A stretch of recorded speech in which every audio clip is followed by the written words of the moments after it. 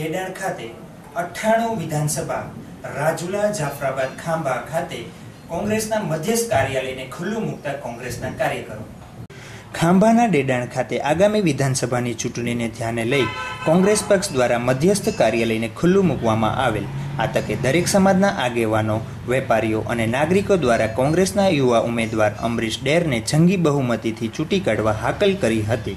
લોક સાહિત્યકાર માયાભાઈ આહિરના હસ્તે ચૂંટણી કાર્યાલયનું ઉદ્ઘાટન ધામધૂમથી કરવામાં આવ્યું હતું અને જંગી જાહેર સભાને માયાભાઈ આહિરે સંબોધી હતી, જેમાં પિસ્તાલીસ હજાર જેટલા લોકો અમરીશ ડેરના સમર્થનમાં ડેડાણ ખાતે ચૂંટણી કાર્યાલયના ઉદ્ઘાટન પ્રસંગે હાજર રહ્યા હતા. Bureau report, my Amreli news. Dedan report by Gaurang Sota ખાસ વિનંતી કરવાની છે કે કોઈ પણ ગામમાં માથાકૂટ ન થાય. આપણે નવ તારીખે પાંચ વાગે તાલગી જે કાંઈ બને સાચવી લેવાનું છે એટલી વિનંતી છે. અમરીશભાઈ જીતે છે એનો તમને ટૂંકો દાખલો દઈ દઉં કે અહીંયા નરેન્દ્રભાઈની તળાવમાં જે સભા થઈ તેની પછી એમ થાય છે અમરેલી પાસે પાંચ સીટ આવે છે. બધા એમ કહે છે કે અમરીશભાઈ નહીં જીતે એ વસ્તુ ખોટી છે. અને આજે રૂપાણી ખોટે ને હારે છે એવી હોત છે તો અમરીશભાઈ એનો અધિકાર શું લેવા? એટલે મારી તમને ખાસ વિનંતી છે કે નવ તારીખે વધારે વધારે મતદાન થાય એવી વિનંતી સાથે વિનુ જય હિન્દ જય ભારત.